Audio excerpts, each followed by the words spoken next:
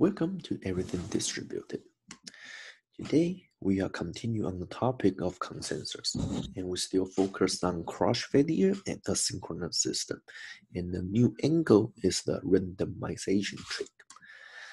So, if you remember, we still need to get past this uh, FLP impossibility result. And last time we talked about that, okay, we need to relax our model in order to circumvent the impossibility. And last time we talked about the approximate consensus, and now we are going to focus on the other one, which is called randomized consensus, which in which we are going to relax our termination property. So originally we have the deterministic termination property, but now we are going to say that, okay, I cannot do deterministic one, that's fine. I'm going to have a probabilistic one. And that's so-called randomized consensus. Let me remind you on the definition for exact consensus is termination, agreement, validity. And now we are back to the exact thing because we want everyone to agree on the same output, exactly the same, okay? And what is randomized consensus? So we are going to relax the termination property. So now it's a terminate with probability one. What does that mean mathematically?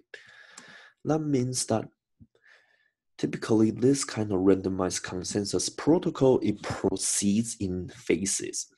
And as you go on go on and on, the number of phases increases, the probability of termination approaches to one. So it's similar to the convergence or approximate agreement that we saw last time, is that if like the number of phases goes to infinity, then you are guaranteed to terminate. But in the worst case, there's always some probability that you might not terminate then if like you don't run for enough, okay? And then similar to the approximate consensus problem we saw, we also need to have n greater than 2f plus. n is strictly greater than 2f, where f is the number, the upper bound on the number of faulty nodes in the system, okay? And the algorithm that we are going to present is called Ben-Or's algorithm because it was proposed by Michael Ben-Or back in PODC eh, 1983. And the exact presentation actually is based on Jen's very nice survey, which is a randomized protocol for asynchronous consensus. Okay. And the key thing to remember, actually, the key thing to first to understand is that the, this algorithm can only solve for binary consensus, meaning that the input xi given to each node i is only the binary value. Okay, so you have like two variables to keep track of. First is the state for each node, and at all times state is either zero or one because we are dealing with the binary thing. And then we also have the phase. So remember last time that I told, told you that this kind of consensus algorithm proceed in phases or proceed in rounds. So as phase go on and on, you, you have a more and more phases, it's more and more likely that you are going to terminate. And in the presentation, each phase has a two rounds. So the first round, you send this message to all the other nodes, including yourself. And then this message has a tag, state, okay? And then you include the phases, P, and then you include your state value, which is either zero or one. So you send to O, then you just busy waiting until you have collected it, you have collected enough message from the same round phase P here, phase P message. And then if you remember from last time, I told you that we are going to see this n minus f thing again. And then that's the key thing, okay? You need to receive that many of message to ensure correctness. And because that the, the upper bound of a number of faulty nodes is f, so it's guaranteed that you can receive that many message. Okay, so once you collect enough message, you go on and then you have a if statement. You check all the message and you want to find out that for if there's an, any particular value v, where v is either 0 or 1 to appear in like at least n over 2 plus 1 times in all the phase p message you have received. Okay, so that's the first threshold. If you can find such v, then you update your vote for the second round as a v. If you don't find that many value v, then you just say, okay, I don't know, I give up my vote, and then now the vote is at a question mark. Okay. So before entering round two, vote is well defined. It's either V, some value zero or one, or a question mark. And now you go to round two. You want to exchange your vote. So the message has a tag, vote. And then you also need to specify that it's for phase P. Then you just exchange vote to all the other nodes. You also need to send to yourself. And then again, we are going to wait at least n minus f of a phase P messages. Once you receive that, then again, you have this if statement. You check all the message that you have received. If there's a value v appeared at least f plus one time. So now we are seeing the second threshold, which is different from the previous one, which is n over 2 plus 1. And then that turns out to be the key of the correctness. And then if you see something that appears f plus 1 times, then you are going to output v. Okay, where v is like some 0 or 1. And then otherwise that you check if there's a value v appear at least once, then you are going to update the state for the next phase to be v. And now, where's the randomization trick? Is this one. At line number 10, you said that I don't see something appear at least f plus one times. I don't see something appear at least once. Then you are going to do a coin flip.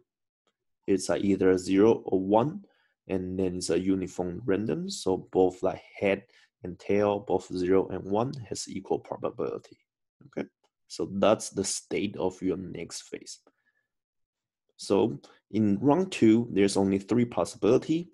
First is that you have seen enough, then you can output, which is a line 15. And then the second is that there are tons of questions mark in the message that you have received. Then you say, I don't. Then you, if you see at least one, either zero or one, then you are going to update your state to B. Then finally is that if everything you see is question mark, then you are going to do a coin flip. Okay. Then you increment your phase and then you do the while loop again and proceed with like all the uh, all the steps in the next phase. Okay. So the algorithm is actually very simple, but in order to prove correctness, it's actually not subtle. Oh, sorry, it's actually pretty subtle. But uh, here, make sure that you understand every step Otherwise, uh, you will get really confused. So you want to know that what is question mark? Question mark is something other than zero and one. Okay. Then you also want to make sure that okay, when I see something that appear f plus one times, is it possible for the other person also see another value? Suppose I see zero to appear f plus one time. Is it possible for the other to see one to appear at least f plus one time? Okay, so all this kind of detail is very, very important if you un you if you want to understand the algorithm. Okay. So now let's proceed to the next for the correctness proof. Okay. And then the key lemmas that we want to prove, the first one is agreement. Agreement turnout is very simple. The way we state it or the lemma that you need is that if any of nodes that can output something that can decide on the output V, where V is either zero or one, then any other nodes must also decide output V. Okay? And the proof is a bit subtle. So you need to understand that okay, now somebody can output here. So that must mean that suppose this no output zero because it it's zero appear f plus one time. Then the first thing you want to show is that it's impossible for one to appear f plus one time. And then the second thing you want to show is that because the i can or this node can see zero to appear f plus one times, it must mean that all the other nodes either output v or they go to this if statement. Because if they go to this if statement, at the beginning of the next round, everybody will have the same state. Okay, so that's how you prove the first lemma. And then the second lemma actually is a simpler, is that if every node have the same input V, then V will be the output, okay? And then if you go back to the algorithm, it's a very simple argument because of uh, the, the number of message that you are going to wait and then the, all the threshold, okay? And I think the, the most important or the key observation back in Ben-Or's paper is this randomized termination. So now let's define the event, some lucky event, meaning that the, each node will flip to the same side of the coin. So now the idea of this termination is that to assume that nobody terminates because as we saw in the lemma before, if someone, some node somehow terminate, then in the very next phase, everybody else will terminate. And then the way to prove randomized termination is to start from like kind of proof by contradiction to say that what happens if that someone cannot terminate? Then under that case, what is the event that can lead to everyone to terminate? And then that way is by this kind of lucky event. Okay meaning that when everybody do the coin flip, everybody will see the head. So because a head and tail both will appear with a probability one half. So what is the probability of lucky event? And that's at one over two to the power of n because everybody need to flip to the same side. And by the simple probabilist uh, probability uh, definition, we know that there's no lucky event. Is that at least 1 minus 1 over 2 to the power of n, okay? Then if you want to say that, okay, if the this Ben-Or's algorithm cannot terminate in the first k rounds, this probability must be upper bound by this equation because just take this non-lucky event to the power of k. Okay. Then once you have this, if you're rusty on math, you may say, okay, this doesn't make sense. I, how can I bound this? But if you remember on some of the nice pro, uh, number is that we can, uh, we, we, we can, this, this is actually the definition of you can bound it by natural number. Okay, so suppose k is some constant times a 2 to the power of n then the probability of a lucky event in the first K run is like one minus this thing. And then you just plug in C to the power, uh, C times to the power of N in. And then you will find out that thing is actually the definition of like one over E to the power of C. Okay. And then because E is something greater than one, so eventually the second term 1 over e to the power of c will approach to 0 as that the c becomes larger and larger. And then that's how you get randomized termination. Okay, so that's uh, all about that's everything I want to talk about Ben-Or's algorithm, including the correctness proof. you might say, okay, that's pretty good. Can we really use it in practice? And then there are some practical concerns. The first one is that because of this randomized trick, performance number of rounds is actually not predictable. And then in many cases, if you do get our analysis, it's actually very big, bad because it's exponential in the number of rounds that it takes. Then next time we are going to discuss Paxos is one of the most used or most popular consensus protocol in this field And then Ben-Or is certainly not as fast as Paxos because Paxos, in the good case, it can terminate in one run. Okay.